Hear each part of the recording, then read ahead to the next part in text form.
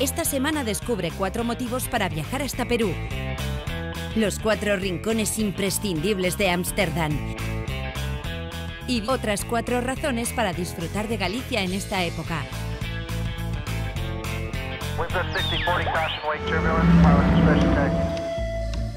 Perú es un país muy diverso, en el que cada experiencia tiene una riqueza escondida y donde aún es posible vivir tradiciones y culturas ancestrales.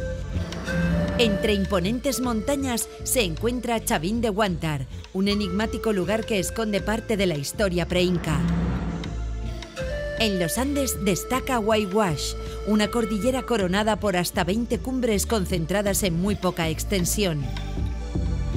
En medio del manto verde del Amazonas, la catarata de Gocta cae contundente desde unos 700 metros de altura.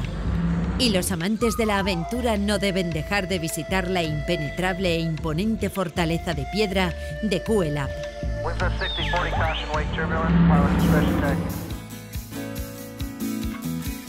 Si algo caracteriza a Ámsterdam, una de las capitales europeas más importantes, son sus bicicletas, sus canales, su multiculturalidad y la tolerancia.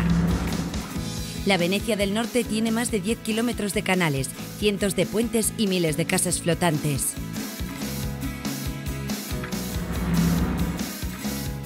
El Museo Van Gogh recoge la colección más extensa del genial pintor holandés. Holanda es un país famoso por sus tulipanes, como se puede comprobar en el famoso mercado de flores flotante. Y nadie se puede ir de Ámsterdam sin visitar uno de los lugares más sobrecogedores e imprescindibles, la Casa Museo de Ana Frank.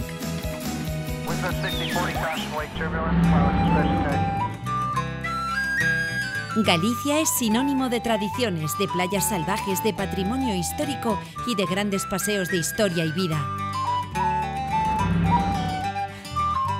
En Galicia hay un sonido que no cesa nunca, el batir de su mar contra las rocas.